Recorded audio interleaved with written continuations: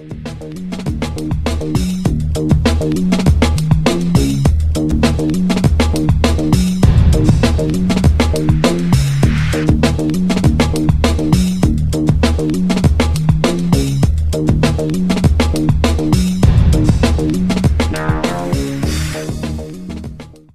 72 roku wystartował na tym jachcie, na Polonezie, w Ostarze, ty, tych regatach, w 72 roku.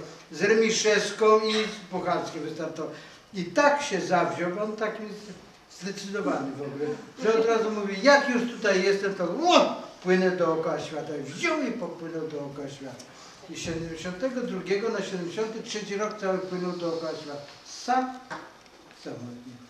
Czyli dzisiaj nasz gość to jest i Ostarowiec, i samotny. I o wielkości fali i jej kształcie można wnioskować tylko z widnokręgu, który nie jest równy, tylko ten widnokrąg o tak chodzi.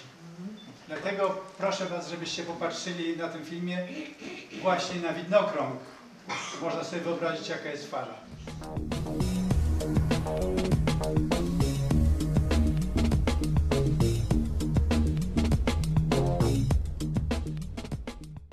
Kiedy już mamy namierzonego tego wieloryba, ja patrzę na pełnej prędkości, na pełnych żaglach. Jedziemy prosto na wieloryba.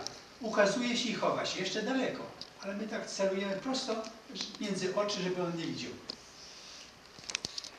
Jak nie widzi, to pewnie nie zanurkuje, czyli wjedziemy na niego.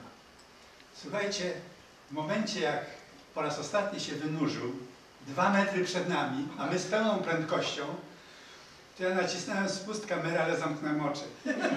Bo myślałem, że to już jest koniec.